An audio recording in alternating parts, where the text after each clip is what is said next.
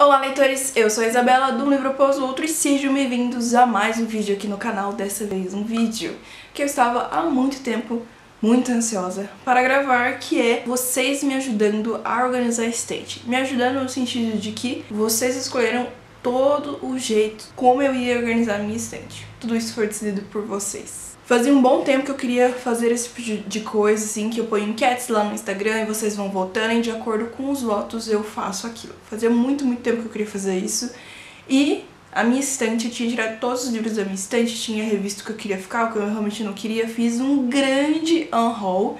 Muitos livros saíram da minha estante, mas isso é assunto para outro vídeo, não é mesmo? Porém, eu fiquei com preguiça de pôr os livros de volta na estante e a estante, coitada, ficou sem livros por muitos muitas semanas, acho que mais de um mês até. É então que eu pensei, eu tenho que pôr os livros de volta na estante, mas por que não pedir ajuda dos meus seguidores lá no Instagram para isso? Então eu coloquei algumas enquetes lá no meu Instagram e vocês votaram no jeito que eu teria que organizar a minha estante. Se você não me segue no Instagram, você provavelmente perdeu isso. O meu Instagram está aqui na descrição, mas é arroba um livro após o outro. Me segue lá porque o conteúdo é diferenciado aqui do YouTube e é um conteúdo em tempo real praticamente. Enfim, eu fiz quatro perguntas lá nos meus stories e vocês votaram ali. Então a primeira pergunta foi em relação se eu deveria organizar minha estante por cor ou por gênero. Eu gosto muito de organizar minha estante por gênero literário, então eu deixo os livros de distopia juntos, livros de ficção científica, livros de suspense, livros de fantasia, enfim, eu gosto de separar por esse jeito, já faz um bom tempo que eu venho separando assim. Mas também tem esse jeito por cor que eu acho lindo demais, mas eu nunca tive muitos livros coloridos ou livros de cor semelhante assim, então eu não consigo pensar muito em fazer essas coisas bem coloridas, mas acho muito bonito. E vocês votaram em organizar por gênero literário, ainda bem, porque eu adoro organizar por esse jeito. E se fosse por cor, eu ia ficar doidinha. A segunda pergunta foi em relação se eu organizar os meus livros por ordem alfabética ou por tamanho. E vocês votaram em tamanho. Ainda bem, porque, gente, me dá agonia de ver tipo um livro menor, é um livro maior, é um livro menor, é um livro maior. Não dá. Então, eu vou ter que organizar por tamanho. A terceira pergunta foi em relação se eu tinha que deixar os livros com a capa à amostra ou só as lombadas. Eu gosto muito de deixar os livros com a capa em amostra, eu acho que eu tenho um apego sentimental, sabe, vendo ali a capa. Mas vocês decidiram em só as lombadas. Fiquei um pouco triste, fiquei um pouco triste, mas tá bom. Vocês decidem então, né? E a última pergunta foi em relação se eu devia pôr alguma decoração na minha estante. Eu já tive decoração na estante, só que conforme a estante foi ficando mais cheia, atrapalha, porque você vai pegar um livro, você tem que tirar a decoração da frente, ela cai, é, enche um pouco de saco, principalmente quando você vai limpar os livros. Então faz um bom, bom tempo que eu não tenho nenhuma decoração na minha estante, porque me irrita. Mas eu tenho várias coisas de decoração, vários potinhos de poções, baldes de pipoca de filmes, enfim. Eu tenho vários tipos dessas decorações e a pergunta era se eu deveria pôr alguma decoração na estante ou deixar só os livros. E ficou bem acirrado ali, uma hora tava só os livros vencendo ali com os pontos na frente, mas por fim quem venceu foi pôr alguma decoração, que no caso seriam os baldes de pipoca. Vamos lá para organizar essa estante. Eu gravei todo o processo para vocês de como eu fui organizando, explicando o que eu ia pôr em cada prateleira e tudo mais.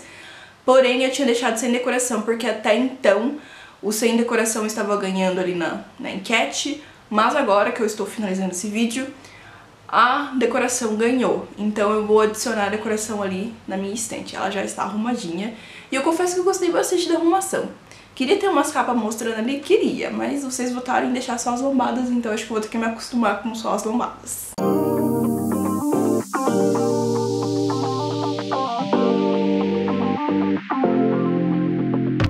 Então aqui já dei uma separada aqui nos livros por gênero. Então aqui ficou os livros de fantasia.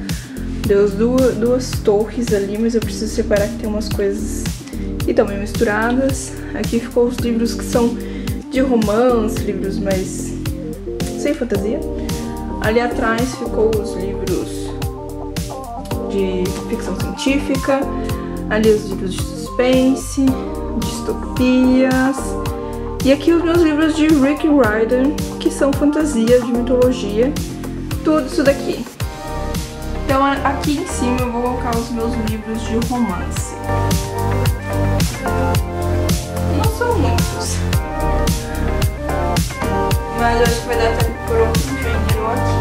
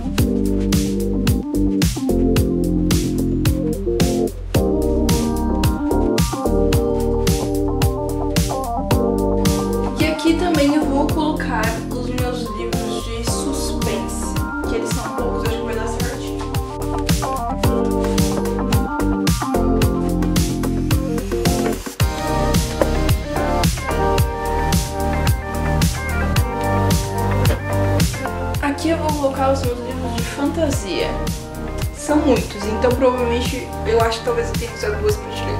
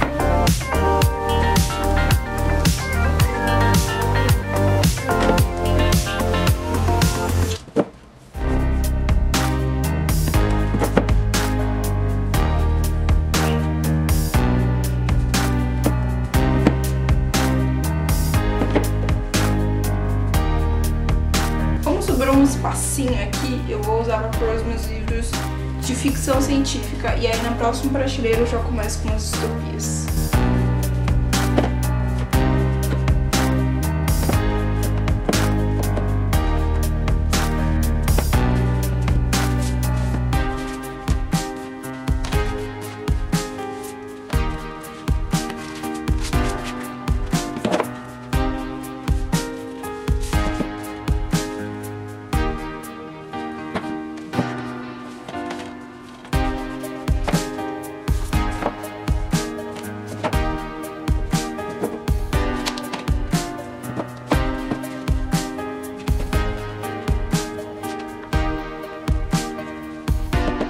E aqui por último eu vou colocar os meus livros do Rick Riordan. Ou talvez eu devesse colocar essa fantasia aqui embaixo.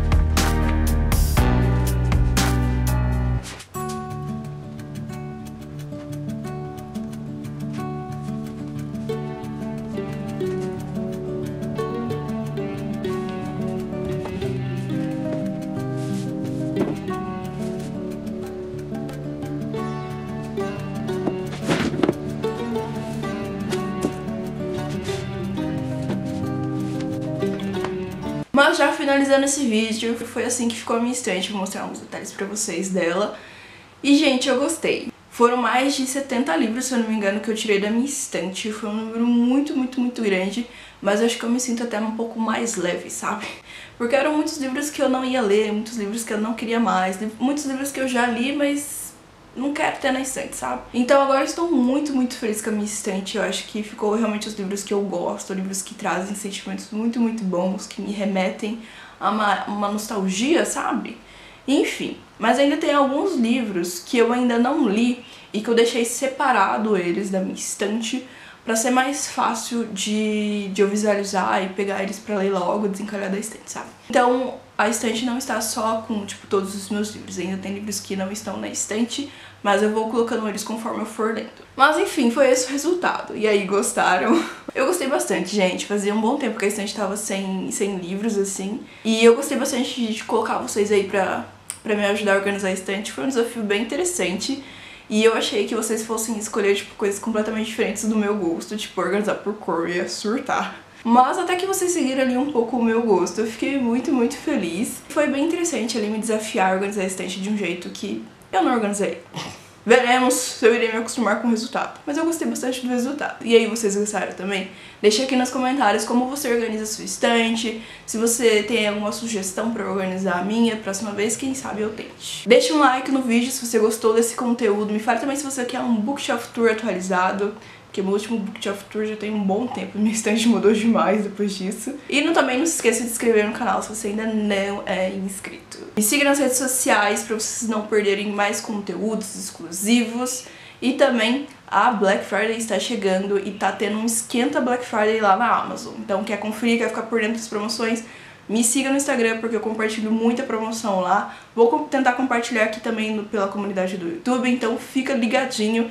E aqui embaixo vai ter o link ali do Esquenta Black Friday pra você já aí, ó, começar a Black Friday, o mês de novembro no Esquenta na Amazon. Foi esse o vídeo, espero muito que vocês tenham gostado e até a próxima.